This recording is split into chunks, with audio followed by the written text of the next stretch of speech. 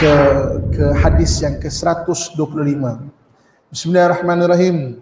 Wa an Abi Ayyub Al-Ansari radhiyallahu anhu an Rasulullah sallallahu alaihi wasallam an Rasulillah sallallahu alaihi wasallam qala Man qala la ilaha illallah wahdahu la sharika lah lahul mulku wa lahul hamdu wa huwa ala kulli syai'in qadir عشر مرات كان كمن أعتق أربعة أنفس من ولد إسماعيل Abu Ayyub Al-Ansari radhiyallahu anhu meriwayatkan bahawa Rasulullah sallallahu alaihi wasallam bersabda barang siapa mengucapkan la ilaha illallah tiada tuhan melainkan Allah wahdahu la syarikalah. Senya ia tidak ada sekutu baginya. Lahul mulku wa lahul hamdu baginya kerajaan dan baginya pujian. Wa huwa ala kulli syai'in qadir. Dan dialah atas setiap sesuatu berkuasa. Sepuluh kali maka ia seolah-olah seperti membebaskan empat jiwa keturunan anak Ismail iaitu uh, keturunan anak Adam eh. Okey. Ini kelebihan zikir dan juga selawat. Uh, pertamanya kita kenal dulu sahabat Abu Ayyub Al-Ansari. Abu Ayyub Al-Ansari satu orang sahabat daripada uh, Madinah. Jadi Al-Ansari Al-Ansari ini istilah untuk sahabat daripada Madinah. Jadi Abu Ayyub Al-Ansari waktu Nabi SAW berhijrah daripada Mekah ke Madinah, maka dia adalah orang yang uh, memberi tumpang rumah dia kepada Nabi SAW sebelum Nabi buat rumah Nabi sendiri dekat Masjid Nabawi.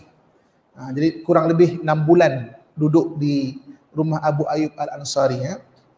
Dan dalam satu hadis Nabi SAW pernah menyebut ya, bahawa la tuftihannal Qastantiniyah uh, kota Konstantinopel ni akan tombang. Fala ni'mal amir amiruha wala ni'mal jaish zalikal jaish. Uh, pemimpin yang memimpin dia adalah sebaik-baik pemimpin dan tenteranya adalah sebaik-baik tentera. Jadi waktu selepas Rasulullah wafat pada tahun 10 Hijrah Abu Ayyub Al-Ansari adalah orang pertama yang bawa rombongan untuk menombangkan kota Konstantinopel. Tapi tak berjaya eh. Ha, jadi kota Konstantinopel tak berjaya. 700 ha, tahun lepas itu baru berjaya ditombangkan oleh Sultan Muhammad Al-Fatih. Ha, jadi kota Konstantinopel maknanya daripada zaman sahabat sampai Muhammad Al-Fatih 23 kali percubaan 23 kali masing-masing nak membuktikan hadis Nabi kota Konstantinopel pasti akan tombang. Kan? Jadi percubaan yang ke-24 yang dipimpin oleh Sultan Muhammad Al-Fatih yang berjaya. Di mananya dan uh, ditukar nama Konstantinopel kepada Istanbul Islam untuk selama-lamanya. Dalam dunia ni ada dua bandar ada dua kota yang diisbahkan kepada Islam. Satu Istanbul kan 1453 52 53 Muhammad Al-Fatih tukarkan Istanbul. Maksudnya Islam untuk selama-lamanya. Yang keduanya Islamabad. Kan waktu Qaid Azam Ali Jinnah mengisytiharkan sebahagian besar tanah India tu adalah tanah Islam. Ha, dan dapat merdeka daripada British. Dinamakan negara itu negara Pakistan. Pakistan maknanya tanah suci. Maka bandarnya diisytiharkan dengan nama bandar Islamabad Islam untuk selama-lamanya.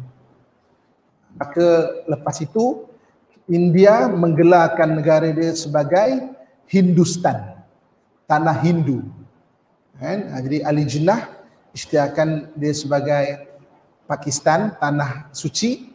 India digelar negara dia sebagai Hindustan. Kita pun duk nyanyilah lagu Hindustan. Padahal Hindustan tu maksudnya tanah Hindu eh. Ha, okey. Okey balik pada hadis ini. Jadi Abu Ayyub Al-Ansari kan maknanya meriwayatkan siapa yang mengucapkan kalimah la ilaha illallah wahdahu la syarikalah lahul mulku wa lahul hamdu wa ala kulli syai'in qadir. Sepuluh kali dia seperti membebaskan empat uh, orang uh, yang terhamba.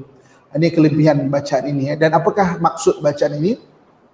Bacaan ini adalah ayat tauhid mengesahkan Allah Subhanahu wa taala. Dan Allah Subhanahu wa taala maknanya daripada zaman Nabi Adam sampai Nabi Muhammad itulah kalimahnya iaitu mengesahkan Allah Subhanahu wa taala. La syarikalah. Tidak ada sekutu baginya, tidak ada standing baginya. Ha, jadi kalau kita selalu mengucapkan kalimah la ilaha illallah ni di banyak kelebihan dia antaranya adalah kalau yang nafas ini seperti membebaskan ha, maknanya anak Adam uh, empat orang hamba. Ha, jadi amalkanlah ya. Kan?